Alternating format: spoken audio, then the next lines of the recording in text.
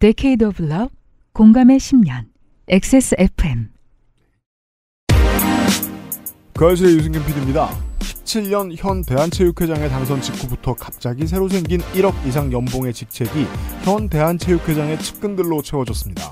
7년간 회장을 위한 왕국을 건설하는 데 큰 도움을 준 인사들이겠죠. 제가 어떻게 아냐면 국감에서 밝혀졌기 때문입니다. 한국에서 고쳐주면 좋은 모든 일들에 대한 이야기 국정감사 기록실에서 다룹니다.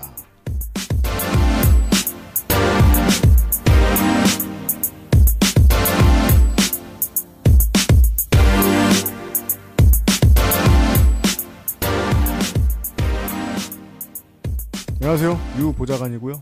건조위원장입니다. 목소리가 건조하게 갈라지고 있어요. 네, 지금 일주일째 감기를 시름시름 앓고 있습니다. 다들 감기 조심하십시오. 네. 물론 뭐 이 나이가 되면 무서운 게 감기 아니고 다른 게 더 많긴 합니다. 네. 덕질 간사 같고요. 네, 안녕하세요. 피곤한 홍성갑입니다. 네. 어, 저 아저씨들이 잠을 못 자고 있습니다. 벨빅 간사도 마찬가지입니다. 네, 벨빅 간사입니다. 그 쓸모없는 유슬리스 팩트긴 한데 지금 이번 21대 국회에는 엄태영 의원과 22대. 응, 22대. 염, 쓸모없는 놈. 염태영 의원이 동시에 존재하잖아요. 그렇습니다. 엄태영 의원은 점이 하나지만 2번 당. 네. 이고요. 뭐야 그게 구분이? 염태영 의원은 전수원 시장 염태영 네. 의원. 염태영 의원은 점이 두 개지만 1번당. 1번당입니다. 네. 크로스예요. 네. 그런데 공교롭게도 두 사람이 똑같은 국토위 소속이에요. 이런. 그래서 이제 그 국회 영상회의록 시스템에서 10월 11일 철도공사 등의 국정감사 국토위 국- 국정감사를 보면요. 엄태영 위원 국민의힘 질의 딱 되어 있는 항목이 있어서 클릭하는데 음. 수원 무에 염태영이라고 하고 있는 거예요. 아이고. 그냥 이 인터페이스 넣는 사람도 헷갈린 거죠. 아, 아. 그래서 쭉 내려가서 염태영 위원 괄호 더불어민주당 클릭하니까 국민의힘의 엄태영 의원이 얘기하고 있는 거예요. 아. 근데 국회 홈페이지의 담당자는 아마 이제 22대가 와서 한숨을 푹 쉬었을 겁니다. 아, 이젠 괜찮아. 왜냐면 이수진이 한 명만 남았으니까. 그 전에 구분하는 게 얼마나 어려운 줄 알아? 그러고서 이제 엄태영과 염태영을 구분하지 못하기 시작했을 수 있어요. 이제 이걸 제보하시면 대체 누가 이걸 들여다보고 있는 거지라고 생각하시겠죠. 그게 바로 저희들입니다. 그렇습니다. 300명의 국회의원들은 다 열심히 일하고 있습니다. 다 쳐다보는 건 저희밖에 없어요. 고 시작하겠습니다. 그것은 하기 싫다는 해결의 실마리 데일리라이트 맥주 호모 비오틴 아름다운 재단 18 어른 캠페인 노동친화적 인재양성소 퍼펙트 25 전화영화에서 도와주고 있습니다. 결혼식 할 때도 왜 가족들 다 나와서 사진 찍으라 그러잖아요. 그럼 누가 나와? 아무도 안 나오잖아요. 제가 보육원 친구들 나와. 아름다운. 재단 18 어른 캠페인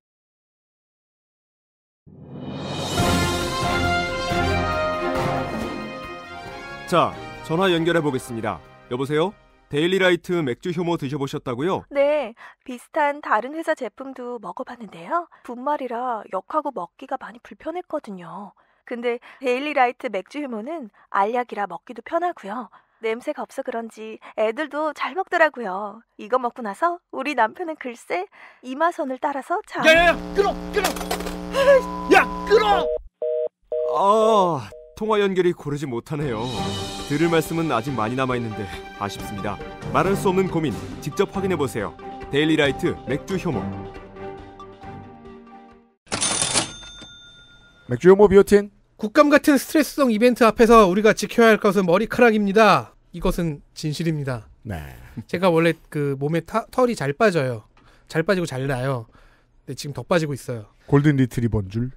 생기지는 못해도 잃어버리는 것은 막아준다는 간증의 향연 우리 어머니가 그중 한 명입니다. 로아슬 맥주 효모 탈모 예방에 좋은 성분 아누카사과 추출 분말을 추가한 프리미엄 맥주 효모 비오틴과 10가지 아미노산 거기다 콜라겐 아연 엘라스틴 비타민 첨가한 진정한 프리미엄 먹을 땐 몰라도 안 먹으면 티난다는 맥주 효모 어머니가 지금 이 얘기 하고 계세요. 뭐라고 하시나요? 빨리 더 사와라. 네. 저희 할아버지도요. 안 먹으니까 음 점점점점점점 액세스몰에서 만나실 수 있습니다.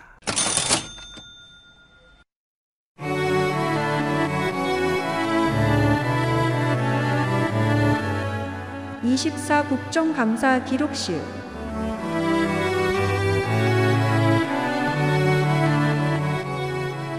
국회의원도 바뀌고 대통령도 바뀌는데 매해 국감마다 대한체육회장은 똑같은 사람이 나옵니다. 이기흥 코너 이슈 하나 돌아온 이기은 코너 체육회의 이상한 선거 국민의힘 박정아 진종호 김승수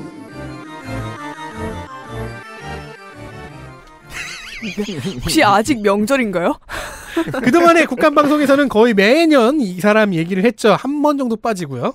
즉 전통입니다, 여러분. 대한체육회장 이기흥. 그리고 꼭 그 덕질님께서 담당을 하시는 것 같아요. 제가 좀 집착합니다. 아, 이런 분들 콜렉팅 아 하시는. 근데 지나가면서 지나가다가 아 또 이기흥 얘기 나왔네. 네. 아니면 뭐 이기흥 또 증인으로 나왔네. 근데 보다 보면 그그 이슈가 너무 재밌어요. 지금 진짜로 재밌다고 안 다룰 수가 없어요. 홀린 표정이세요.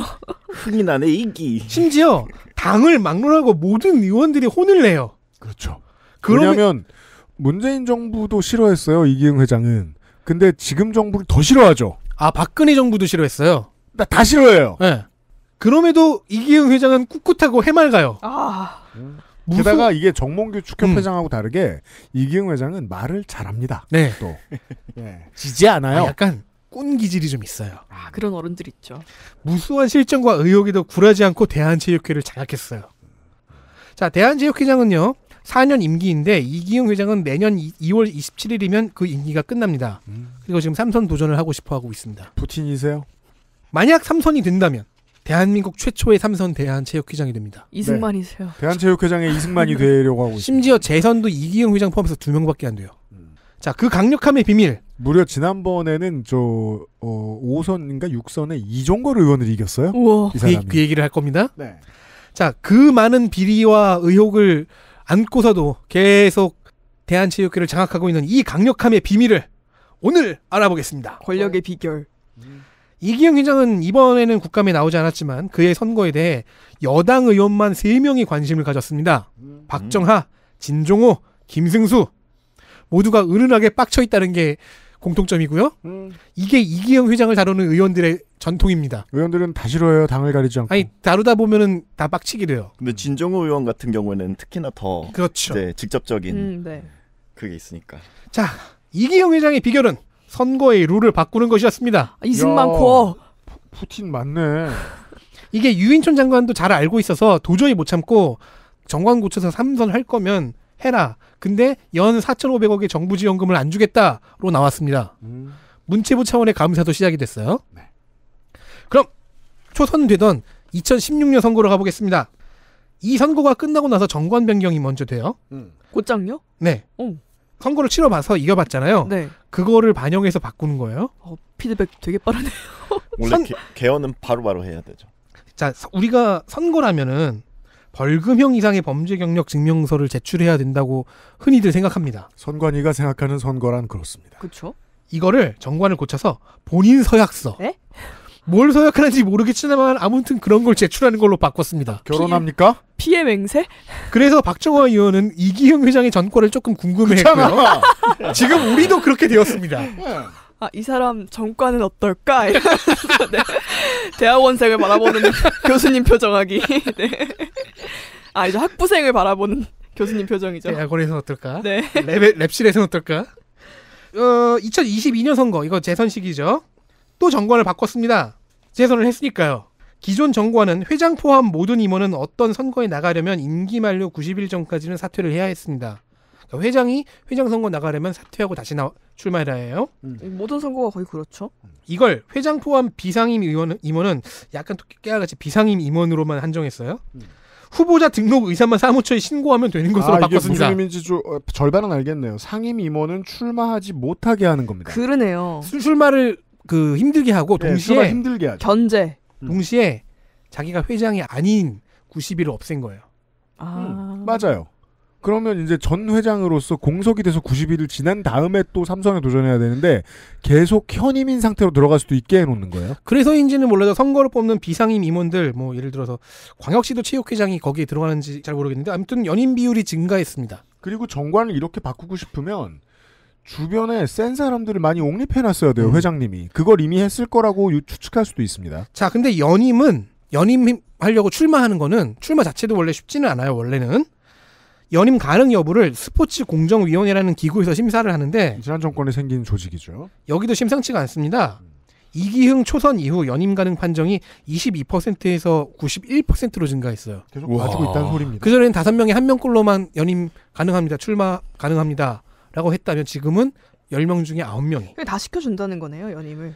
당연히 이기흥 회장의 주변 인사들이 이 스포츠 공정위원회에 들어가 있습니다. 그래서 우리는 내년 1월에 이기흥 삼선 연임의 판정이 나오거든요.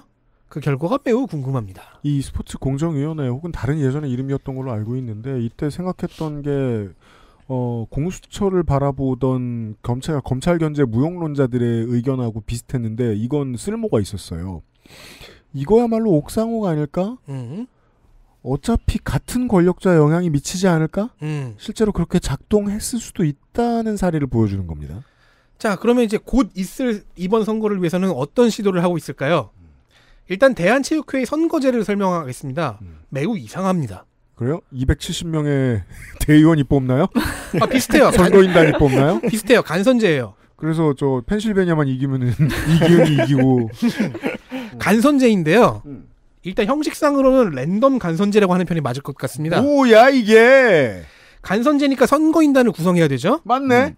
선거인단 풀은 대학, 뭐 초중고 교사, 국가대표, 뭐 각 지역 체육회 인사, 동호인 등등 중에서 무작위로 2만 3천 명을 우선 선정합니다. 네.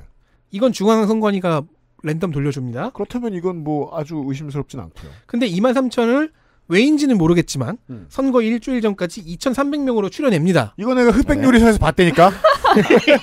첫날 다 먹어보고 특별하진 않은디? 이게 터뜨리고 보류. 예, 보류하고. 문제는 추리는 기준과 추리는 주체를 모르겠어요. 흑백 요리사는 알아요. 맛. 제가 매년 이 선거제가 궁금해서 찾아봤지만 찾을 수가 없었는데 선거인단은 맛보진 않을 거 아니에요. 금년에는 이제 박정화 의원이 알아와 줘서 이- 여기까지 알았거든요. 근데 박정화 의원도 2,300명으로 줄이는 과정은 넘어가더라고요. 아 캐치 못했군요. 근데 일단 그렇다고 쳐요. 음. 자, 아무튼 그렇게 해서 만든 2,300명의 선거인단이 투표를 하는 간, 그 간선제인데 2022년 12월에 새, 새로운 제도가 끼어들어옵니다. 지정 선거인. 생존자 뭐예요? designated 뭐 어쩌고. 음. 228개 시군구 체육회에서 시군구니까 기초 단위죠. 여기서 한 명씩 추천을 하면 그 사람은 무조건 2,300명 안에 들어갑니다. 아 통일 주체 체육인 그러니까요, 회의. 그러니까요. 즉 기초 단위 체육회를 장악하면 선거 인단 중 10%가 장악이 가능하다는 의미입니다. 이거, 아니 전두환의 플레이북에 있는 기술을 야. 아, 그 약간 인격도 그렇고 정말 전두환인가 봐요.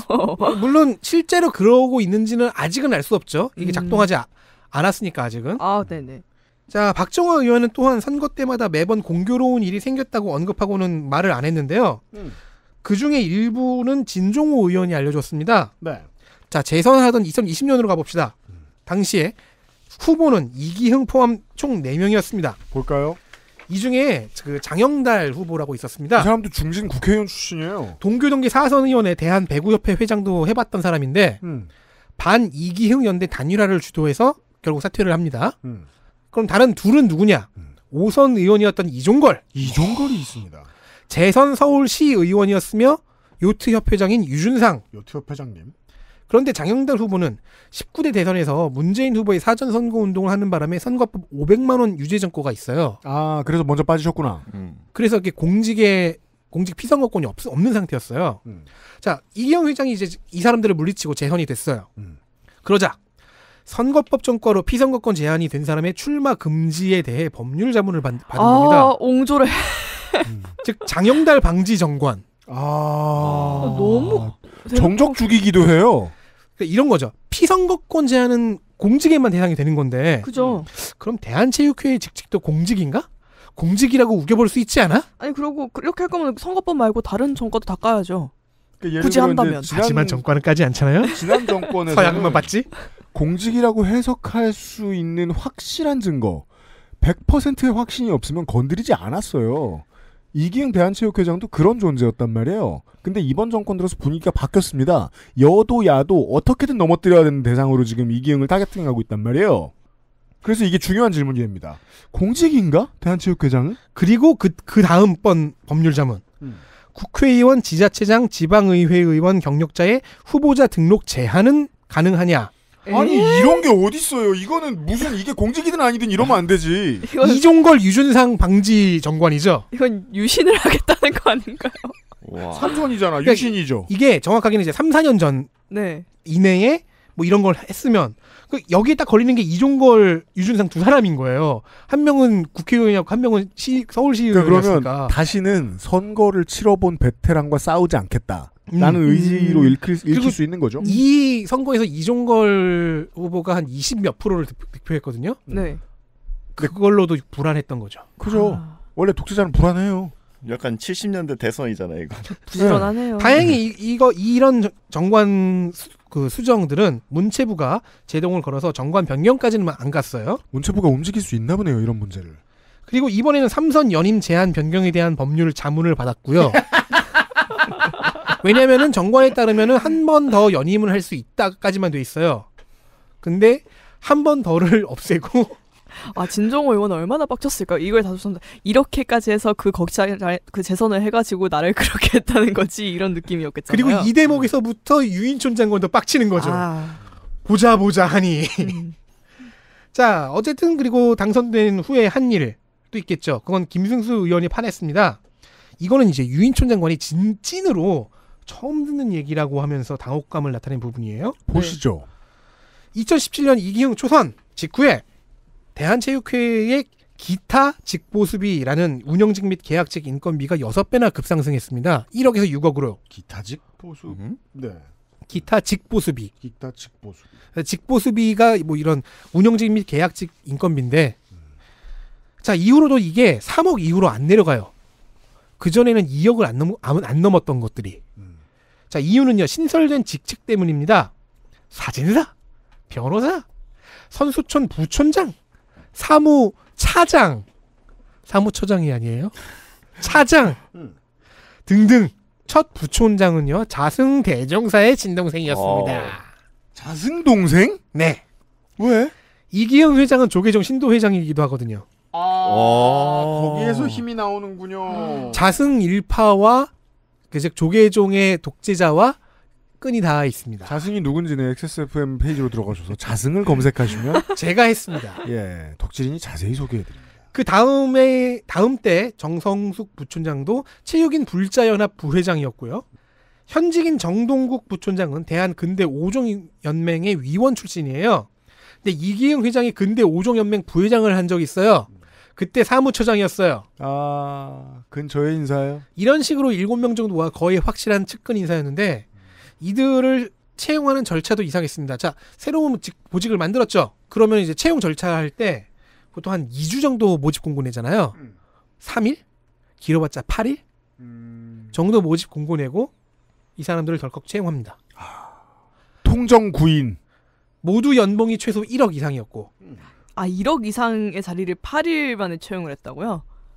아, 이런 사람들이 조직 장악과 정관 변경에 힘도 실어주는 겁니다. 그죠. 정관 변경이 어떻게 smooth하게 됐는지가 궁금했는데 그걸 김승수 의원실이 파악해낸 거예요. 문체부 감사라도 들어갔으니 다행인데요. 만약에 이제 정의가 승리한 하- 하고 정의나 혹은 뭐 최소한 유인촌 장관의 분노가 승리한다면 우리는 내년부터는 어쩌면 이기흥 전통을 지키지 못할 수도 있습니다. 아, 근데 이기흥의 이 강력한 그 뭐라 그럴까요? 카르텔 그 형성의 방식은 완전 명태균 수법이네요. 자기한테 억지로 빚지게 만들기. 아, 이건 아, 억지로는 음. 아니죠. 어쨌든 직책을 준 거니까. 그쵸.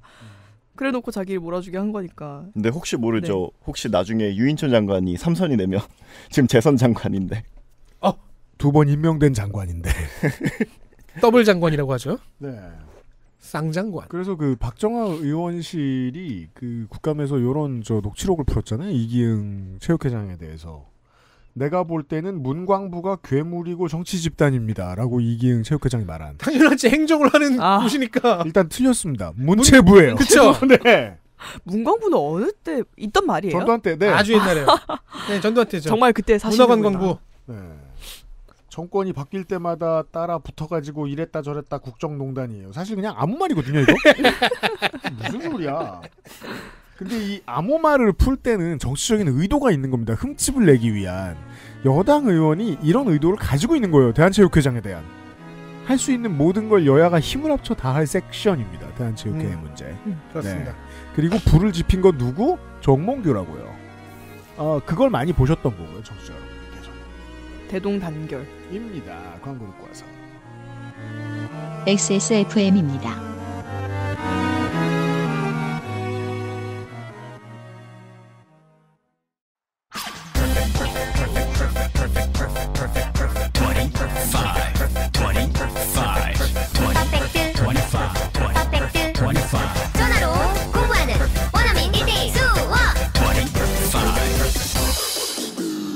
Why don't you call Perfect 25? 좋아요. 진짜 확실히 좋아졌어요. 어, 이렇게까지 효과가 좋을 줄은 몰랐어요.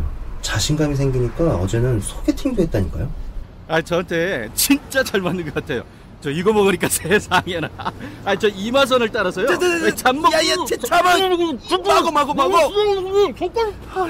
누구 망하는 걸 보고 싶나? 말할 수 없는 고민?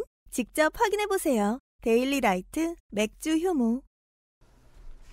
아, 그래도 만약에 이기흥 회장을 더 이상 보지 못하게 되면 아쉽긴 할 것 같아요. 그리워하지 마시라고요. 몇 년 동안 매년 씹고 뜯고 맛보고 즐기고 사라진 무소속 후보를 찾지 마시라고요. 국회와 함께 즐거워 즐겁게 화냈는데 올해 경험하고 느낀 건데 어, 이런 사람이 나가죠. 갑자기 멀쩡한 사람이 들어오지 않아요.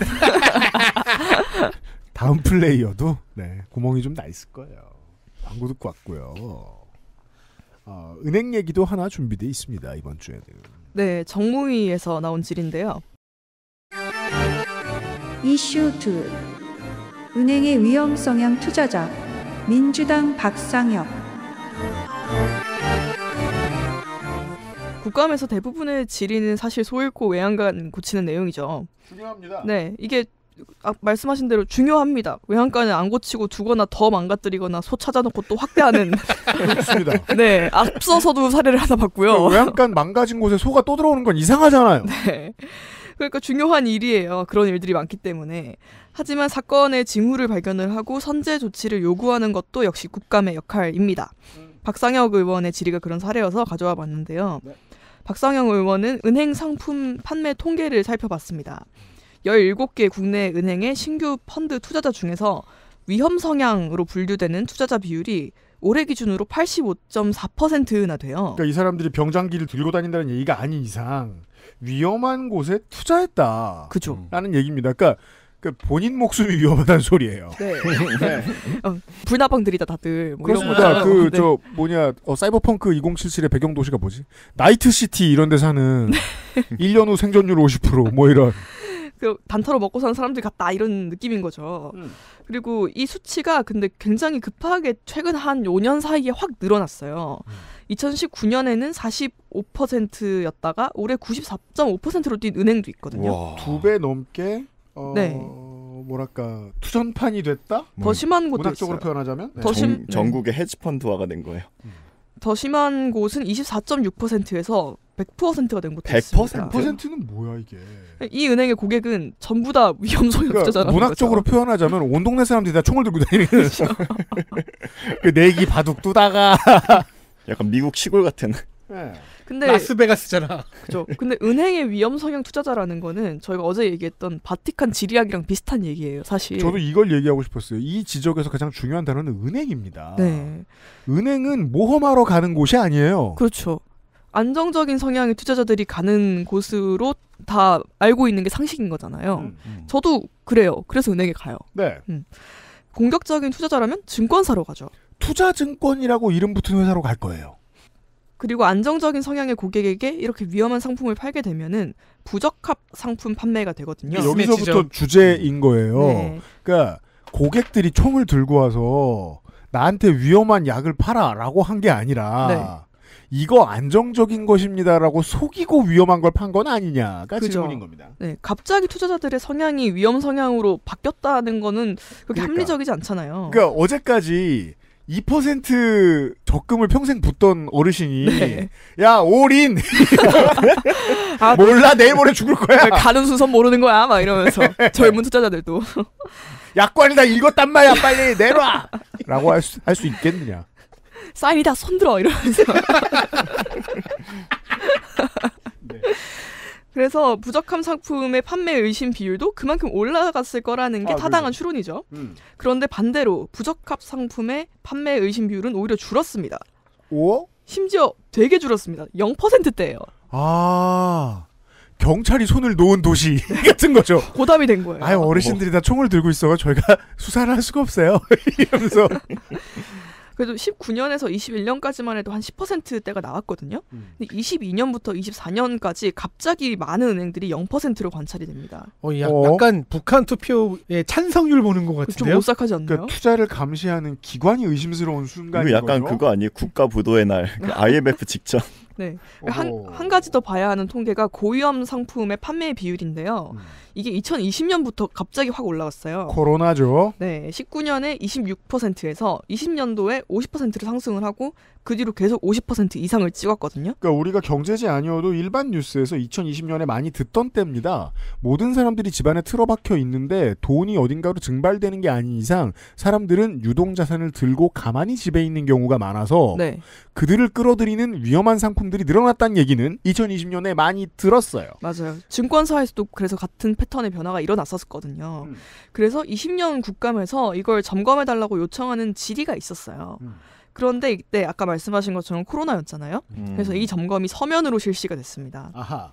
근데 점검을 해보니까 결과가 또 국감에서 질의를 했으니까 보고가 됐을 거잖아요. 음. 알고리즘 전산 조작 이런 사례는 없다고 했어요. 이때는 이게 다 전산 조작이라는 막 얘기가 있었거든요. 음. 뭐 은행들이 실적 올리려고 조작한 거다. 예, 예. 뭐. 그런 의심을 충분히 할 수 있잖아요. 네. 그런데 그렇지 않고 오히려 비대면 거래보다 대면 거래에서 위험 소노 비중이 높게 나타났다고 보고가 됐습니다. 제가 아까 얘기 할아버지가 직접 은행에 가가지고 올인 이런 거라는 거야? 그죠? 그게 아니면은 누군가 유혹했다는 거죠. 예. 그래서 박상혁 박- 의원의 얘기를 들어봅시다. 네. 박상영 의원의 가정은 이렇습니다. 은행이 애초부터 고객들을 고위험 상품군에 몰아놓고 해당 상품을 판 거예요. 그리고 선택지를 그런 것만 놓고 네 그리고 이걸 그 투자 성향 검사라는 걸 또 하게 돼 있거든요. 그죠. 상품을 팔기 전에 음. 그때 위험 성향이 나오도록 유도해요 은행 직원이. 음. 그러면은 말이 맞죠. 통계상으로도 안정형 투자자가 저- 줄어들고. 아 그럼 이렇게 뒤에서 보고 있다가 네. 아유 인생을 참 재미없게 사시네. 그쵸. 수익 안 내실 건가? 아, 극 이러면서 그러자 긁힌 어르신이 네. 올인 내가 왕년에 말이야 이러면서 안정형 투자자 비율은 그럼 줄어들고 부적합 상품 판매도 발생하지 않으려면 이것밖에 논리가 맞는 추론이 없는 거예요. 음. 두 가지가 별개니까요. 위험 상품을 샀다고 위험 투자자로 분류되는 게 아니에요. 그렇죠. 네. 투자 성향 따로 측정하고 위험 상품 판매도 따로 보는 거거든요. 그럼 이건 은행이 의도한 거라고 봐야 박상혁 의원의 시나리오처럼 맞아 들어가게 됩니다. 그렇죠. 그리고 박상영 의원은 이런 현상이 무언가의 징후라고 봤습니다. 금융위기죠. 올해 초에 발생했던 홍콩 ELS 사태의 배경과 너무너무 유사합니다. 많이 비교했었습니다 언론들이. 네. 이때의 그 배경은 그랬죠. 은행이 수익원을 다변화하기 위해서 이제 이자만으로는 뭔가 돈이 좀 안 된다. 음. 다양한 수익원을 만들어야 된다라고 해서 위험성이 높은 금융 상품을 판매를 해요. 네. 그리고 상품의 구조가 되게 복잡해요. 그 서브프라임 모기지 이때처럼. 그죠? 그러니까 뭐 주가 연계 연계 증권이나 아니면 집값 연계된 대출. 네. 이 똑같은 거예요. 그렇죠. 사실 일반인이 충분히 이해하고 혼자서 공부해서 투자하기랑 불가능에 가까워요. 음. 상품의 구조가. 그래서 상품을 판매하는 은행을 믿고 삽니다. 은행은 안정적이라고 생각하니까요. 네. 근데 은행은 설명을 충분히 안 해요. 음. 그러다 손실이 발생하면 은행은 투자자에게 책임을 떠넘기는 겁니다. 그렇게 되도록 가스라이팅을 이미 해뒀고요. TV 광고에서도 얘기했다. 원금 손실에 유의하시라고. 당신은 위험을 즐기는 투자자입니다라고 가스라이팅을 해서 그런 곳에 투자하게 만들었고요. 그렇습니다. 진짜 광고마다 그 마지막에 붙는 문구가 조금 섬뜩하거든요. 갑자기 한껏 친절하게 설명하다가 네. 2배속으로 얘기하잖아요. 근데 그 섬뜩함은 국가가 마련해 놓은 최소한의 안전 장치란 말이에요. 그죠. 마치 담배값의 폐암 사진처럼. 음. 그리고 이때 은행의 전략은 단순히 상품 설명을 누락하는 것에서 그치지 않습니다. 홍콩 사태의 경우에요. 위험 상품이 적합하지 않은 고객에게 상품을 팔 수 있도록 아예 시스템을 설계를 해놔요. 은행이 의도한 거란 뜻이에요. 네.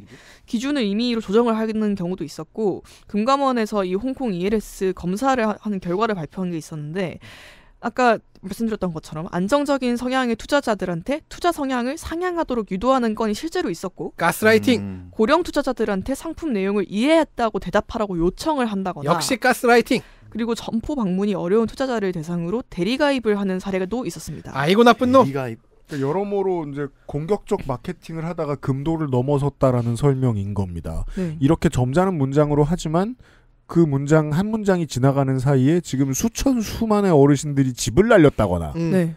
예, 뭐 실제 들고 있던 유동자산이 반토막 이하로 났다거나 그럴 가능성이 높은 거죠. 근데 이 은행이 아까 17개 은행이라고 했잖아요. 네. 그러면 저희가 다 아는 메이저 그- 은행. 국내 상위 은행 다 있는 거예요. 어. 상위 순서대로 17개인 거예요. 음. 그리고 노인네만 꼬실까요? 사회초년생들도 너무 걸려들기 쉽죠. 음. 저도 은행에서 뭐 하라 그러면 다 그냥 사인하거든요. 왜냐하면 이제 20대 중반쯤에 부모님하고 한번 쇼부를 보는 이 담대한 젊은이들이 있습니다. 네. 나 시집 안 갈 테니까 그거 내놔요 지금. 나 장가 안, 가- 집 안- 사줄 필요 없어. 그거 줘봐요. 보통 우리 세대까지는요. 네. 유산 미리 달라고 하는 자식은 호로 자식이었거든요. 예. 그리고 근데 지금은 이제 투자 위험성이 높으니까 호러 자식이지. 부모님이 설명해 줘야죠. 야 이 호러 자식아. 약관을 충분히 읽어라.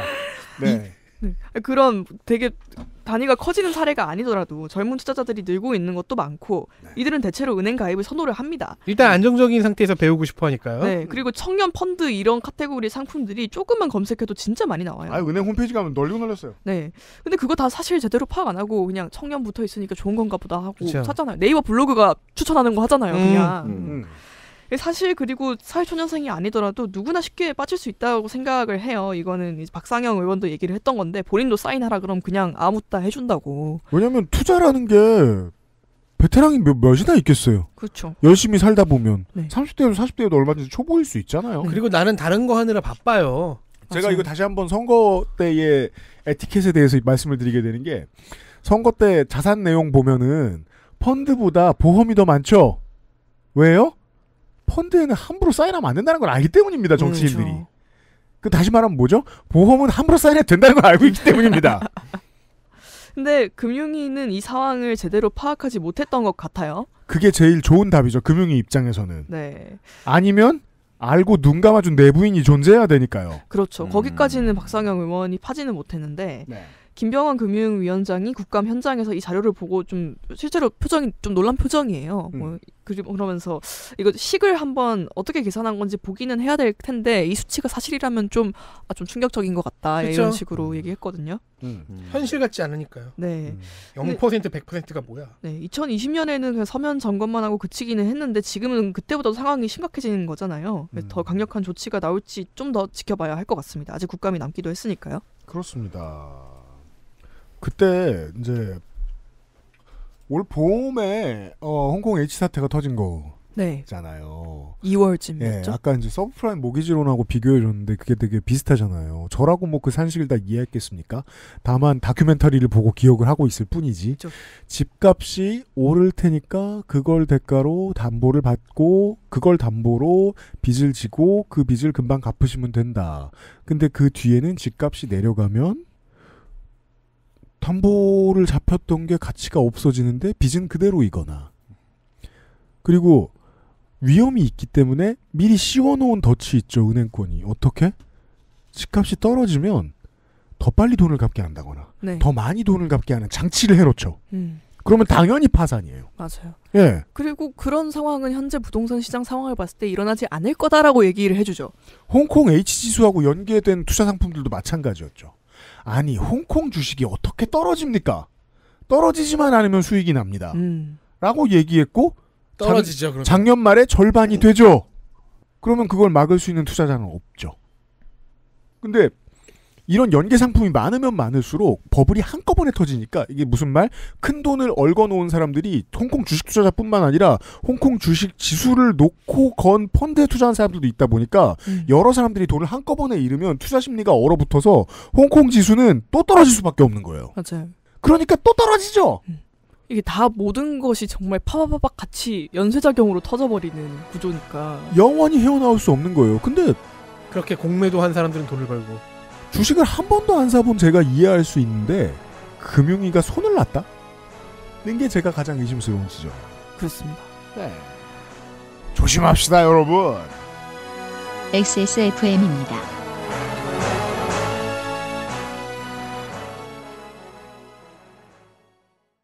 제가 처음에 아기를 낳았어 이제 조그만한 아기를 이렇게 탁 떠안았는데 제가 무슨 생각을 했냐면은 나를 시설에 보내기로 결정을 했었던 엄마는 나를 봤을 때 어떤 기분으로 봤을까라는 게딱 보육원에서 살았던 자립준비 청년들에게 가정을 이룬다는 것은 어떤 의미일까요?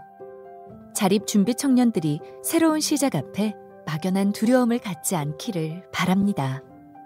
아름다운 재단은 자립준비 청년이 잘 살고 싶은 마음이 들도록 18 어른의 당당하고 건강한 자립을 고민합니다. 아름다운 재단 18 어른 캠페인 광고 듣고 돌아왔습니다.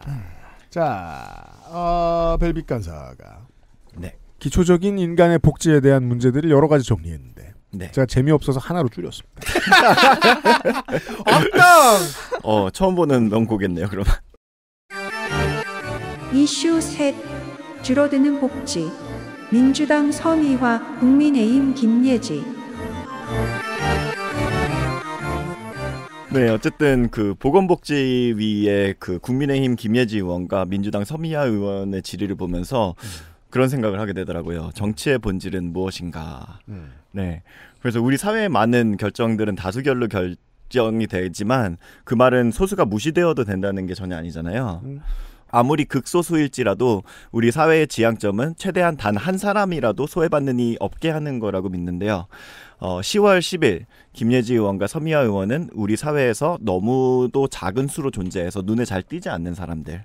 그래서 그 고통도 외면받기 쉬운 그런 복지의 사각지대에 있는 국민들을 위한 질의를 펼쳤습니다. 음, 원래 김혜진 의원 이런 거 많이 했고요. 네. 그리고 이제 서미아 의원이 이제 민주당으로 요번에 그렇습니다. 초선으로 네 당선됐죠. 네. 어 먼저 김혜지 의원은 그 장애인 그리고 노인 이 두 가지 정체성에 각각 제공되는 복지 제도가 꼬이면서 발생하는 아이러니한 문제에 대해서 지적을 했는데요. 장애인 노인 복지가 꼬인다. 네. 우선 보건복지부는 만 6세부터 65세의 등록 장애인에게 장애활동 지원 서비스를 제공을 하고 있어요. 근데 문제는 만 6세부터 65세까지잖아요. 음. 그러니까 장애인이 65세를 넘으면 어떻게 되냐? 그러면 이제 장애인이 노인이 되면서 장기 요양 서비스랑 중복이 돼요. 음. 그러면서 이게 보정 급여 방식으로 바뀌게 되는데 어, 쉽게 말하자면 이런 거예요. 그러니까 매달 장애인이 받던 활동 지원 서비스 시간이 대폭으로 줄어들게 됩니다. 그러니까 참고인으로 이제 그 출석한 최은정 씨의 경우에는 65세를 넘어선 장애인이시겠죠. 네.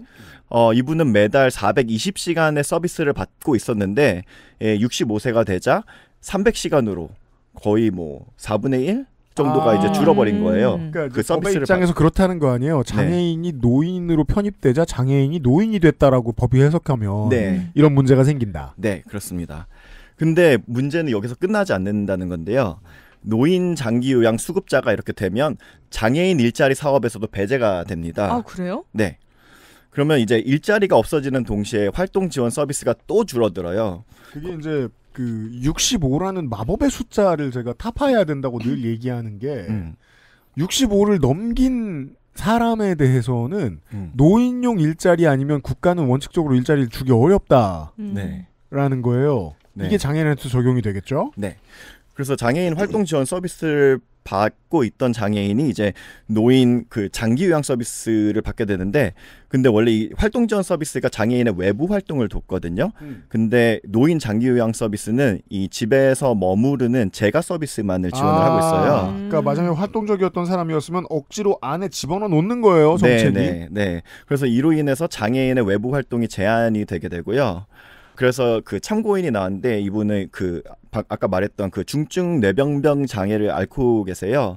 그러면서 이분이 이 기계를 통해서 말씀하셨는데 어, 통제당하고 감시당하듯 일상을 살고 있다 이렇게 음. 말했어요.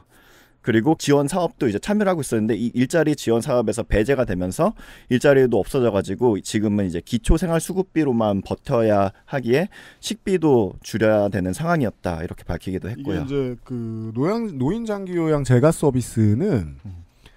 이런 걸 돕는 거예요.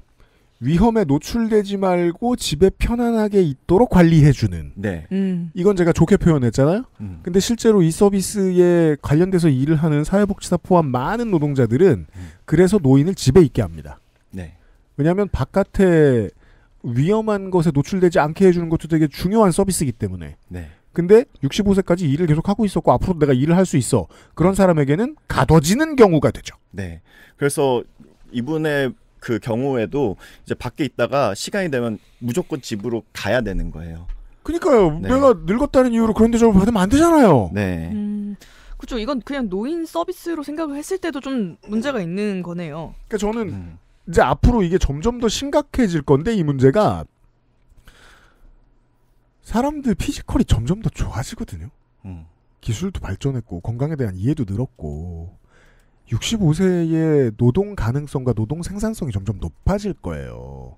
일단 이 숫자 뒤로 높이는 것도 중요하고 물론 김혜지 의원이 지적하는 건 이거보다 더 심각한 구조적 문제입니다만 음. 저는 일단 그거부터 생각나가지고 65세, 60, 70세 이런 사람들이 일하고 싶을 때 일하게 하는 방식을 최대한 많이 생각해야 될 것 같아요.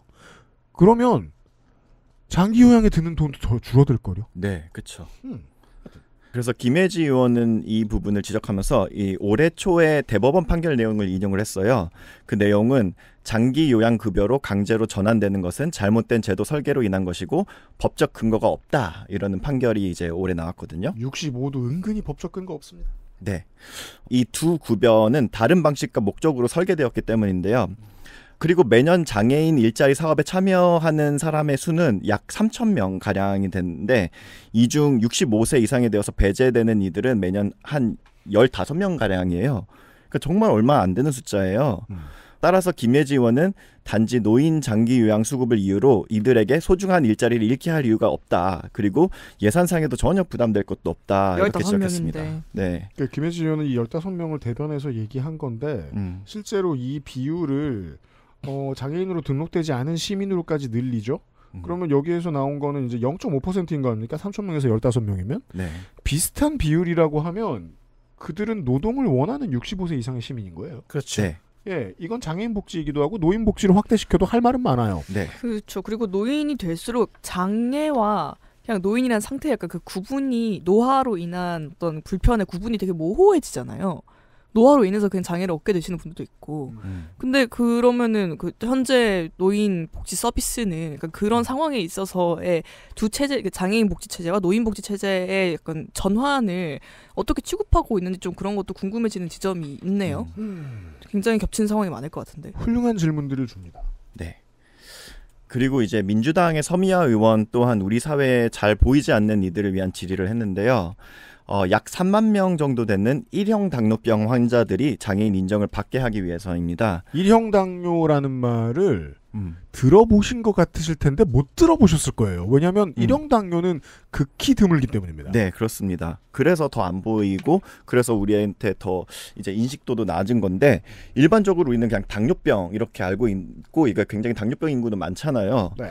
근데 그거와 달리 일형 당뇨병은 췌장의 영구적 손상으로 훨씬 중증의 병인 거예요. 네, 불치병으로 현재까지는 알려져 있습니다. 네. 그래서 대중적인 인식도도 낮고 그동안 국가에서 거의 뭐 방치가 되어 왔었어요. 음. 그리고 이게 거의 소아 청소년 시기에 발병을 하게 되거든요. 그래서 이제 보호자는 이제 생업을 대부분 포기해야 되는 거예요. 왜냐하면 저 하루에도 몇 번씩 인슐린을 맞아야 되고 막 이러니까. 아, 인슐린이 네. 아예 안 나오는군요. 네. 그러니까 아예 펌프 기계를 놓고 사 생활을 하기도 하고요. 네, 그리고 응급 상황이 오면 진짜 그 뇌 손상이 일어나기도 쉽고 뭐 심하면 이제 사망까지 이르는 그런 위험한 병인데 아 근데 우리나라 당뇨병의 2% 정도가 일형 당뇨병이면은 적긴 하지만 은근히 많네요. 네, 그래서 약 3만 명 정도로 추산된다고 하는데요. 어, 올해 초에 충남 태안에서 9세 어린이가 이 진단을 받자 일가족이 비관해서 목숨을 끊는 그런 사건도 있었어요. 네.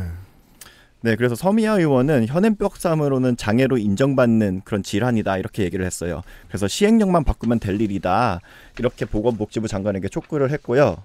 어, 근데 이건 정말 상관없는 TMI이긴 한데 그 서미아 의원이 이제 참고인을 두 명을 불렀어요. 이 참고인들은 일형 당뇨병 환자들을 오랫동안 진료해온 의료 전문가였거든요. 네.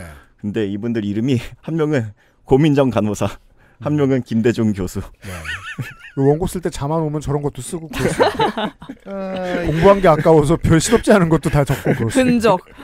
보건복지위에서 이렇게 이게 며칠이라고요? 10월 8일? 이렇게 멋있는 멋있는 질의들을 하던 그 하루 전날 10월 7일에 네. 정무위에서는 이제는 인정할게요. 저는 군, 권성동 의원이 저랑 되게 많이 닮았거든요. 아, 맞아요. 아, 오랫동안 피해 오셨나요? 네, 거- 아, 부정하고 있었어요. 국민의힘 권성동 의원은 중증 장애인의 탈시설은 재앙이다로 시작해서 탈시설이 가속화될수록 전장인이 돈을 번다는 식으로 막 나가기 시작했습니다. 어, 네, 개 막 나갑니다. 네. 그리고 또 국방부 장관은 또 또 장애인 비하 발언을 또 했죠. 네. 2년 전에 탈시설 공 그 탈시설 논쟁을 국감에서 할 때는 이보다 훨씬 훨씬 나았던 기억이 있는데 음. 김미애 의원과 최혜영 의원의 그 논쟁 같은 경우에 네, 조금 씁쓸해집니다. 그렇습니다. 저 닮은 사람이 그러고 있어서 더 씁쓸합니다. 등록되면 보통 이제 그 복지카드 받고 나서부터 어, 인생에 가장 달라지는 점은 장애 등급 때문에 받을 수 있는 여러 가지 보험이 좀 더 두툼해지는 게 있고 그리고 다른 것보다 개인의 입장에서 말하면 정산이 빨라진다. 음. 치료비와 관련된 일형 당뇨처럼 평상시에 돈 되게 많이 드는. 음. 어 그리고 이제 뭐 등급제가 없어져야 한다는 분들도 많고 저도 찬성하고 있습니다만 장애 등급에 따라서 서비스를 해줄 수 있는 사람을 지원받을 수 있게 되죠. 어떤 질병들은 그게 꼭 필요하거든요. 일형 당뇨도 그중 하나라는 얘기입니다. 네. 허미화 의원 이런 거 잘 봅니다. 참고로 이 사람이 전장현이 내놓은 안에 거의 큰 차이 없는 교통약자법을 내놓은 사람이죠. 그렇고요. 예, 누는 탈시설 갖고 혐오 정치하고 있을 때 이 김혜지 서미와 두 의원은 사실상 시설화를 당하는 것이나 다름없는 어떤 극소수를 또 바라볼 줄 아네요. 어, 대중적 관점에서 혹은 정치부 기자의 관점에서 얘기하면 서미화 의원의 일성이 되게 매력 있었단 말이에요. 혐오 정치를 끝내러 왔다. 네. 음, 네. 그러니까 나는 모든 면에서 이준석과 반대다 이런 얘기거든요. 예. 근데 알고 보니까 권성동과도 반대였어. 근데 대신에 대신에 좀 더 관종이었으면 좋겠어요. 그리고 근데 되게 말투가 되게 매력적이에요. 이 목포분이라 가지고 막 지리하면서 막 그렇죠잉. 스타성은 전 충분히 있다고 네. 생각해요. 어, 그걸 스스로 좀 알 필요는 있을 것 같아요. 본인을 좀 더 잘 드러냈으면 좋겠어요. 자, 어, 덕질 이야기를 하는 시간인데, 어, 위원장이 준비했습니다. 왜냐면 제가 토스했거든요. 그렇습니다. 네, 어, 이런, 이런 덕질은 모릅니다, 덕질이는. 네. 그죠? 이건 제가 MG 쿼터로 가져왔다고 할 수 있는데요. 구 빠순이 제 쿼터로도 가져왔다고 할 수 있겠습니다. 최근에 유튜브 보다가 누구 어, 버블에 가입해 있었어요? 있어요. 드디어 드디어 관련된 첫 번째 이론을 학습했어요. 뭔가요? 왜 MZ가 스스로를 MZ라고 부르는가? MG는 새마을 금고잖아요. 하는 거예요. 그렇죠. MG가 되죠. 그- 젊은이의 G가. 그 그래 그 저것도 하나의 가설이구나. 아무튼 네. 아무튼 MZ예요. 네. 국감 첫 주에 가장 MZ한 주제로 자. 가져왔습니다. 이슈 넷 앨범방의 세계 민주당 박유정 이무경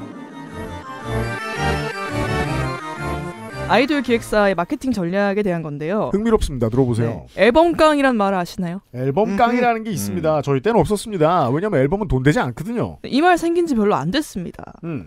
요즘 앨범을 사면은 포토카드라는 걸 끼워주죠. 이게 한 20년 됐습니다. 그렇게 오래됐나요?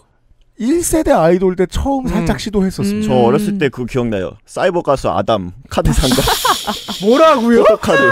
그땐 카드만 팔았죠. 아 잠깐만 나 아담 앨범을 샀다는 사람 처음 봐. 아, 저 되게 팬이었고 지금 그분 이제 얼마 전에 근황 올림픽에 나오셨더라고요. 어, 안 돌아가셨어요? 네. 오, 아담 사이버. 사이버 가수면 안 돌아가야 되는 거안 아니, 돌아가셔야 그 되는 거 사망설이 아니에요? 파다했었어요. 아, 왜냐면 아담 그 아담을 개발한 네. 회사가 망해서 아, 예, 그 데이터 센터가 네, 포맷됐다. 소스 코드가 사라졌거든요. 아, 그러네. 근데 되게 유명한 그 저기 뭐냐 드라마에도 나오고 그때 뭐 아. 이병헌 나오는.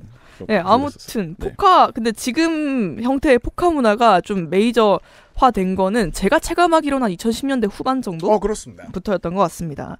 이 아이돌들이 셀카 찍은 그냥 말 그대로 사진 카드인데 이게 랜덤으로 들어가 있어요. 앨범에 한 장씩. 그렇죠.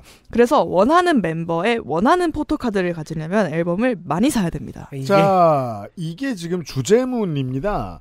그러니까 그 우리나라 아이돌 회사들이 이것도 시장을 선도하고 있는데 어디서 보고 배운 버릇이냐? 리니지죠. 그렇습니다. 그리고 조금 더 옛날로 확- 가면은 예, 그 옛날 미국의 야구 선수 카드, 그 NBA 선수 카드. 음. 보세요.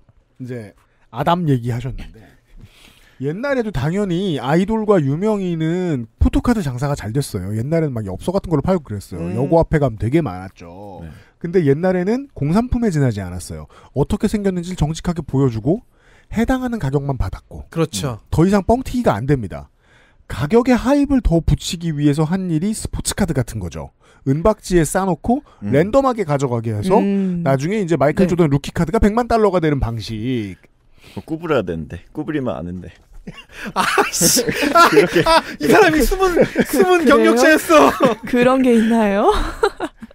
아무튼 다시 포카 얘기. 네. 그러니까 종류가 다양하면은 앨범을 왕창 사서 이걸 개봉을 하면서 포카를 확인하잖아요. 그 과정을 앨범 깡이라고 합니다. 그렇습니다. 이게 하나의 컨텐츠가 돼가지고 요새는 유튜브에 앨범 깡 브이로그라는 장르가 있어요. 저는 그게 네. 자해하는 영상으로밖에 안 보여요. 네. 여기 쌓아놓고 아 제발 누구 나오게 해주세요. 누구 나오게 해주세요. 뜯고 아 아니야 이러고 다음번에 또 뜯고 아니야 하고 나오면은 꺅 하고 환호하는 그런 장면을 찍는 아, 거예요. 그거군요. 그 피파 하면서 이제 그렇죠, 선수 그렇죠. 게임 거. 방송에서 예. 가차 돌리는. 예. 그래서 똑같죠. 네. 그래서 앨범 24개를 까면은 장원영이 몇 장 나올까 이런 거예요. 그렇죠. 음. 당연히 24개는 약과입니다. 음. 이게 음반 하나에 많게는 100쪽이 넘는 포토카드가 있기 때문인데요. 네, 멤버가 100명이 넘어서가 아니고 네. 다른 사진들. 맞아요. 그리고 미공개 포토카드라는 게 또 있어요. 아, 난 역시 네. 줄여서 미공포라고 합니다. 공포네요, 진짜. 네, 그럼 미공포가 뭔지는 거기 제, 제시가 돼 있지 않고 몇 개인지도 모르니까 그냥 계속 까봐야 아는 거죠. 아, 몇 개나 히든이 숨겨져 있는지를 모른다. 그걸 모르는 경우도 있어요. 음. 이거는 뭐 경우에 따라 다른 걸로 아는데. 역시 무서워 자원주의는. 그러니까요. 근데 많은 아이돌 팬들이 이 문제를 제기를 해왔고요. 미니진이 쏘아 올렸죠. 그리고 이번에 강유정 의원과 이모경 의원이 받았습니다. 그 이 문제 의식은 앨범 깡이 사실 사행성이라는 거예요. 그렇죠. 본질적으로.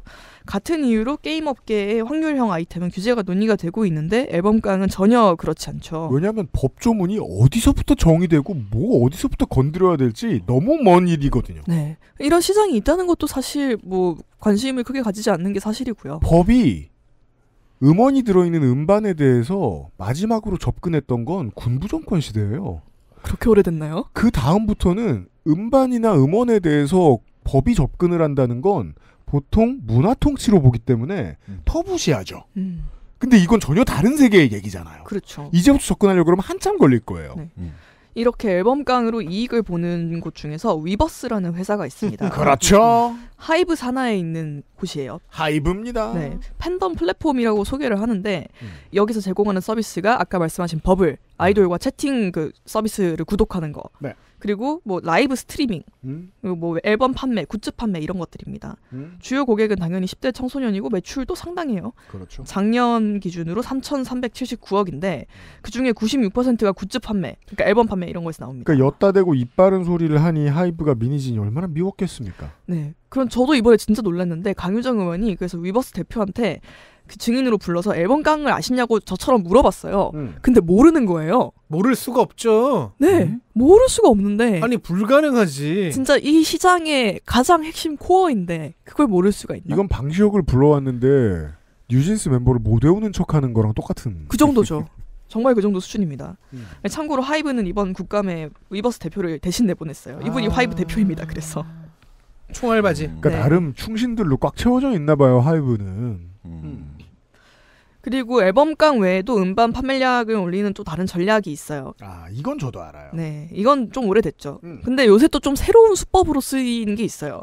음반 밀어내기라는 건데요. 음. 이건 이모경 의원이 지적을 했는데 기획사가 음반 판매처에 정해진 물량을 판매를 합니다. 음. 이번에 뭐 몇만 장 이렇게 주는 거예요. 네. 그러면은 그 중간 판매처 주관으로 팬 사인회 이런 이벤트를 열어요. 아주 중요하죠. 네, 근데 그 이벤트 추첨을 할 수 있는 응모권을 특정 기간 내에 음반을 산 구매자에 한정해서 줍니다. 네. 네, 뭐 10월 11일부터 10월 23일까지 앨범 구매하신 분한테 한 장당 한 개씩. 이러면 공장의 호흡이랑 소비가 맞아 떨어지죠. 초도를 빠르게 풀 수 있거든요. 빠르게 털 수 있거든요. 네. 그리고 추첨으로 소수 인원을 뽑는데 사실상 구매량을 기준으로 줄 세운다는 게뭐 뭐 중론이에요. 자 그러면 충성스러운 팬들은 어떻게 해야 되죠? 한 장만 사면 안 되죠. 아까 포카 살 때랑 똑같죠. 똑같죠. 초도 물량 만장이 풀렸다고 그럼 난 천장 살래. 내가 10%를 다 혼자 가지겠어. 네, 근데 한 번에 천장이 아닌 게 중요한 거예요. 아까 기간을 되게 짧게 한다고 했잖아요. 2, 3일 정도로. 그래서 팬싸를 가려면 한 번에 100장을 사서 어 나 당첨됐네. 이번에 가고 끝 이게 아니에요. 계속 팬사인회가 있어요. 공지가 떠요. 그럼 이틀 동안 50장 사요. 이번에 안 됐어요. 그럼 다음 기간에 100장 사봐요. 또 안 됐어요. 그럼 다음 기간에 150장 사보고 이런 식인 거예요. 자, 한 그 사이에는 500만 원 썼어요. 지금 강, 지금 강원랜드 얘기가 아니잖아요. 그러니까요. 정말 이렇게 하는 사람들이 똑같은 점은 많아요. 어, 돈을 다 잃는다는 거예요. 맞아요. 그렇습니다. 그러니까 점점 더 빠진다는 것과 음. 네. 근데 조금 엉뚱한 생각이 들긴 하는데 뭔가요? 아 이게 그 출판업계가 불황이라고 하는데 네. 어 요즘에 뭐 노벨 문학상 때문에 약간 이거 올라갔긴 했지만 네. 어이 조금만이라도 이게 배워가면 좋겠다. 한강. 포토카드를 팔까요? 약간 그런 식으로 엘빅 간사가 진짜 악마인 것 같아요. 어떤 점? 아니 이, 이 혼란을 다른 업계까지 퍼뜨리겠다고. 근데 그래도 들어봐요. 부- 실현은 못할 거 아니야. 썩 꺼져라 이러면서 아, 악마인데 무능한 악마야? 소금을 뿌릴 거예요. 그런 거였어? 그래서 기독교인인 거였어요. 아, 한강 작가 사인은 어떻습니까? 쫓겨납니다. 아무튼 이런 전략을 쓰면은 단기간에 음반 판매량을 올릴 수 있죠. 제가 이제 그 Amplified 팟캐스트에서 얘기 못하는 문제 중에 하나죠. 빌보드가 왜 케이팝을 경계하는가? 네. 이런 이상한 수법들을 많이 쓰기 때문입니다. 그렇습니다. 네. 좀 이따 얘기를 더 할 건데요. 그리고 진짜 코어 팬들은 앨범 깡이랑 이걸 같이 해요. 어차피 둘 다 앨범을 사는 것이다. 그죠? 근데 더 많이 사는 것이다가 되는 거죠. 근데 그러다 보면은 팬덤 내부에서 아, 최소 몇 장은 사야지 팬사를 갈 수 있다 이런 기준이 생깁니다. 그러면은 이걸 팬사컷이라고 해서 막 부르거든요. 그러니까 이거는 전문 투자자들만 아는 영역이죠. 네, 근데 진짜 전문 영역인 게 이거를 공개하지 않아요. 이걸 팬들끼리 돈 주고 사고 팝니다. 정보를. 그렇죠. 네. 고급 투자 정보죠. 그렇습니다. 최소 몇백은 당연히 되고요. 이 미니진이 하이브로부터 유진스가 이런 음반 밀어내기를 하라고 권유를 받았다 이렇게 주장을 한 바가 있었죠. 근데 그러면서 네, 제일 지적을 무서- 했습니다. 제일 무서운 게이이 이 시장의 주 고객층이 10대 그죠. 잖아요. 그렇죠. 그게 제일 무서운 것 같아요. 아, 더 무서운 건 케이팝의 팬덤은 전 연령층에 다 있다는 겁니다. 그러니까 10대가 몇백만 원 쓰는 것도 무서운 일인데 5, 60대들은 상상을 뛰어넘게 돈을 쓸 수 있거든요. 그렇죠. 리니지의 고래. 그러니까 리니지의 유저들이- 성주들이랑 똑같은 팬들이 있어요. 음. 리니 리니지 라이크 게임들을 하는 성 그 고래 유저들이 얼마를 쓰는지 생각. 제가 예전에 말씀드렸잖아요. ARS로 투표할 때 전화국 하나를 사버리는 팬이 있다고. 롤스로이스를 그 명태균이. 하나씩 있는 거예요 가수 뒤에. 그렇습니다. 네. 근데 더 유능해요 심지어. 네. 돈이 더 많고. 예.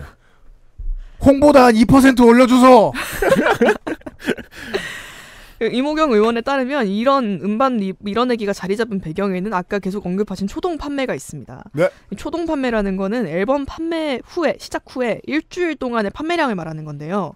이걸 되게 중요하게 보는 게 케이팝의 관행이에요. 아니 그리고 전 세계적 관행이고 네. 전통적인 기준이기도 해요. 네. 이들이 얼마나 티켓 파워를 기존에 가지고 있느냐를 보여주는 증거니까. 그쵸. 근데 그렇게 쓰이지 않잖아요 한국에서는. 그렇습니다. 단기간에 판매량을 올리면 초동 집계에서 당연히 유리해지겠죠.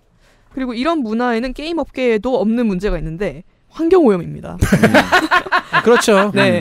제가 가차를 한다고 해서 그게 뭐 데이터를 좀 더 쓸 수는 있겠으나 네, 쓰레기를 더 많이 만들진 않잖아요. 예전에 얼마 전에 어떤 패스트푸드 프랜차이즈와 어떤 아이돌이 협업을 그 콜라보를 해서 네. 치킨 먹으면 뭐 준다, 아, 네, 굿즈 준다 맞아요. 했, 는데 잠시 뒤에 드러났죠. 쓰레기통에 잔뜩 쌓여 있는 치킨. 음, 아, 뭐, 그런 사례가 거의 업계별로, 광고 업계별로 많, 많을 거예요. 화장품도 있고요. 뭐, 많습니다. 원래 치토스에도 그랬었어요. 치토스 스티커 또 꺼내. 아 그렇죠 맞아요 맞아요. 포켓몬 빵. 예. 치토스를 한 몇백 개 사고 안 먹고 다 버리는 거예요. 그래서 카드만 빼고. 포켓몬 싫어하는 애들은 고모나 고모부가 계속 빵만 준 그러니까요. 그런 경험이 있는. 이 맛없는 걸 왜 자꾸 나한테 주나? 짬처리. 네. 근데 앨범은 먹을 수도 없습니다. 들을 수도 근데 요즘엔 들을 수도 없어요. CD 플레이어가 없으니까. 그렇죠. 그래서 이거를 기부 명목으로 기부하는 경우가 있어요. 이게 진짜 쓴다고? 어디 약간 뭐 고아원 이런데 이런 걸 기부를 해요, 진짜로. 쓰레기인데? 그러니까요. 그래서 저 정말 그거는 못됐다라고 생각을 했었습니다. 옛날부터 저 그런 생각 많이 했었거든요. LP는 전통적으로 종이에 넣어요. 종이 커버에 음. 넣어요. 네. 근데 CD는 좀 더 귀한 미디어였다는 이유로 80년대 말에 플라스틱 케이스에 넣거든요. 음. 근데 지금은 그렇지 않잖아요. CD도 종이에 넣는 게 맞을 것 같은데. 그리고 아이돌 앨범은 여러분이 생각하시는 그 CD가 아니죠. 그죠. 네, 아주 두껍고 아주 화려한 그 포토북이 컬러 인쇄로 싹 들어가 있고 그래서 이제 이런 거를 이제 좀 시정을 해달라고 뭐 팬들 사이에서 시민단체가 만들어진 것도 있고 막 그래요. 음. 그리고 이게 또 한 가지 또 문제가 되는 거는 아이돌의 노동 강도 차원에서도 문제가 된다는 겁니다. 팬 사인회를 음. 계속 계속 계속 하는 거예요. 며칠에 한안 번씩. 돌리면 안 돼요. 네. 그래서 많게는 한 번 활동할 때 90번을 한 경우도 있다고 하고요. 이 대단한 감정 노동이죠, 사실. 음. 근데 피감자들이 이거에 대해서 이렇다 할 답변을 내놓지를 않았어요. SM 장철혁 대표의 경우에는 회사가 유통사와 협의해서 음반을 판매를 하는데 그런 사항이 있는지 확인해 보겠다 이렇게 얘기를 했고요. 거짓말이 섞여 있죠. 네. 뭘 확인해 봐. 그러니까요. 이미 다 나와 있는 거를. 초도 물량 제일 세게 파는 게 SM인데. 네, 우린 다 공지를 봤는데. 그리고 JYP 정욱 대표는 조금 더 못했어요. 도소매처 주관으로 이런 행사를 하는 거다라고 꼬리 자르기를 시도했습니다. 정말 제가 법정에 끌려가도 자신 있습니다. 거짓말입니다. 그리고 좀 더 찾아보니까 한국 엔터 기업들이 음반과 음원 매출을 좀 정확히 공개하지 않는 걸로 악명이 높다고 해요. 이게 더 이득이란 걸 깨달은 지 꽤 됐죠. 네. 아까 말씀하셨던 사안인데 한국만 유독 음반 판매가 음원보다 월등하게 높습니다. physical 음반. 이게 어느 정도 수준이냐면 세븐틴의 음반 판매량이 테일러 스위프트보다 많아요. 그 세븐틴 케이스로 설명하는 게 참 좋은 게 한국에서도 엄청나게 밀어내는데 세븐틴은 중국에서도 밀어내니까 돼요. 그죠. 그 숫자들이 physical을 다 사요. 그러면 테일러 스위프트를 우습게 이기지만 사람들은 세븐틴이 누군지 몰라요. 밖으로 나가면 이런 이유입니다. 네, 그래서 아까 말씀하신 것처럼 빌보드가 케이팝을 경계를 하는 상황이 되는 것이죠. 네. 그리고 유인촌 문체부 장관의 피드백은 음반 밀어내기가 한국 콘텐츠 진흥원에 신고를 할 수 있는 사안이래요. 근데 제가 이 홈페이지 들어가 봤는데 음반 사재기, 음원 사재기 이렇게 적혀 있거든요. 근데 이거랑 유사하다고 생각을 한 것 같아요. 음. 근데 제가 정확히 이게 해당이 되는지 잘 모르겠어요. 달라요. 네. 왜냐하면 음반과 음원 사재기는 음반 사재기는 초도 물량을 회사 돈으로 사는 거예요.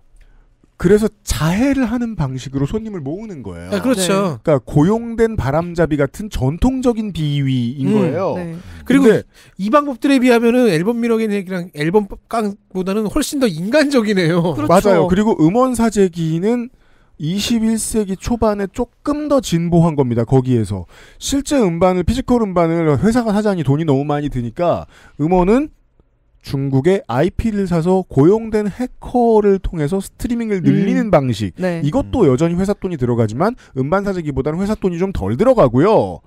다만 시장을 교란하는 방식은 차트를 움직이는 수준에 지나지 않았어요. 네. 근데 지금의 방식은 위원장이 설명해 준 대로면 시장을 교란하는데 그걸 팬들 돈으로 합니다. 그렇죠. 그렇죠. 그 훨씬 심각한 사안인 거죠, 사실. 장관님은 이해 못한 거예요. 이걸.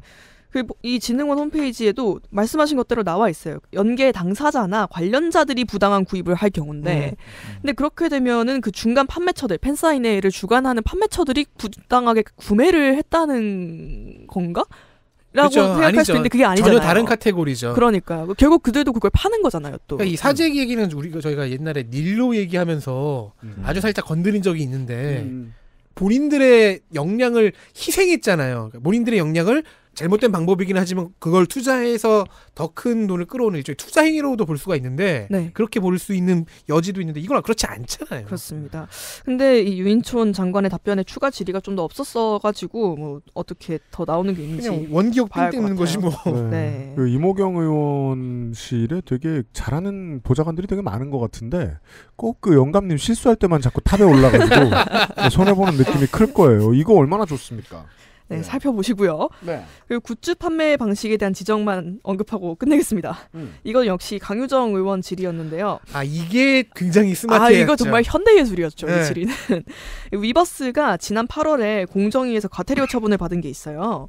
이유가 환불과 반품에 대한 정보를 충분히 제시하지 않았기 때문인데요. 위버스의 상품은 개봉 후 반품이 안 됩니다. 단순 변심 환불이 안 됩니다.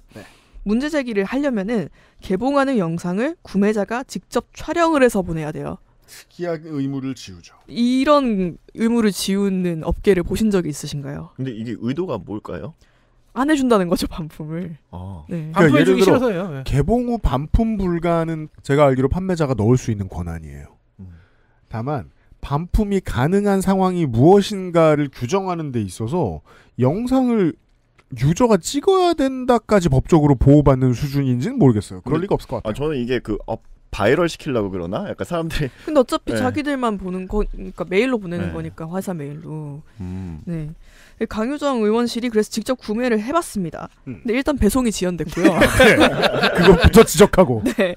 그리고 반품을 하려고 unboxing 시도하려고 unboxing 영상을 찍었어요. 음. 근데 진짜로 이럴 수가 반품 사유가 있는 게 나온 거예요. 이염이 있었어요. 그 음. 우와. 의류를 샀는데. 우와. 네, 그래가지고 이걸 촬영을 했는데 만약에 촬영을 이렇게 쓱 살펴보면서 이걸 내가 못 봤다 이염이 음. 있었던 거를 그럼 반품 못 하는 거죠. 그죠. 네. 그러니까 그 그게 이게 이제 한국의 산업적 특 징이랄까요? 소비자가 겁나 영악할 거라고 전제하죠. 네. 뭐 실제로 그렇다고는 생각합니다만 그렇다고 해서 법적으로 이 정도까지 할 권한이 판매자한테 있는 건 말도 안 됩니다. 그리고 실제로 없는 권한을 쓰고 있다는 얘기를 강유정 의원은 지적하고 있는 것 같고요. 그렇습니다. 아, 이 이염을 발견했을 때 의원실 얼마나 신났을까요? 그러니까요. 네. 그리고 강유정 의원은 이런 행태가 갑질이라고 일단 정의를 했어요. 네. 시간이 부족해가지고 좀 더 끌어나가지 못한 게 아쉬웠었는데, 음. 근데 아무튼 앨범깡, 굿즈, 갑질 모두 팬들의 애정을 미끼로 부조리한 시스템의 산업을 유지하고 있는 문제가 있다. 이런 게 지일의 핵심이었다고 보시면 될 것 같습니다. 네. 음. 그래서 나왔던 게 근데 이렇게 환불 거부를 해서 네. 과태료를 무셨잖아요. 얼마 내셨어요? 300만 원입니다. 0.05%도 안 되죠. 이게 하이브의 아이돌 굿즈 매출액이 1조 2,079억 원입니다. 이, 21년부터 올해 상반기까지 3년 넘게. 근데 과태료 300만 원 낸 거예요. 그럼 몇, 몇 퍼센트예요 그러면? 아, 이거 강유정 의원이 그래서 계산을 해봤대요. 0.00025%요. 아, 00002호였어요? 영인에게 매주 수요일에 유튜브에서 만나실 수 있는 앰플리파이드 팟캐스트에서는 보통 케이팝이 문화적으로 일구어낸 업적들에 대한 얘기를 많이 합니다. 왜냐하면 평론이 이런 것도 못 알아볼 때도 많고 아이돌 음악이 아이돌 음악이지 뭐 이 정도로 생각하는 사람들도 많고 그것도 아쉬워서 그 얘기도 하는데 산업으로서 케이팝이 가지고 있는 흉측한 측면에 대해서는 어, 누군가는 좀 지적을 해야 되는 게 연예 산업은 팬들의 사랑을 먹고 살잖아요. 근데 사이비 종교도 신도의 사랑을 먹고 살거든요. 그 둘은 차이가 있어야 되거든요. 케이팝은 그 둘 사이를 자꾸 넘나들려고 그래요. 왜냐하면 후자가 수익성이 세거든요. 고객 하나당 수익성. 거기로 넘어가는 단계 어딘가를 국회가 짚는 건 좋은 일이라고 생각합니다. 이런 얘기였습니다. 다양한 얘기를 봤습니다. 김건희 얘기만 있는 게 아닙니다. 국감은 내일 이 시간도 기대해 주시기 바랍니다. 내명 노동자 물러갑니다. 고맙습니다. 감사합니다. XSFM입니다. I D W K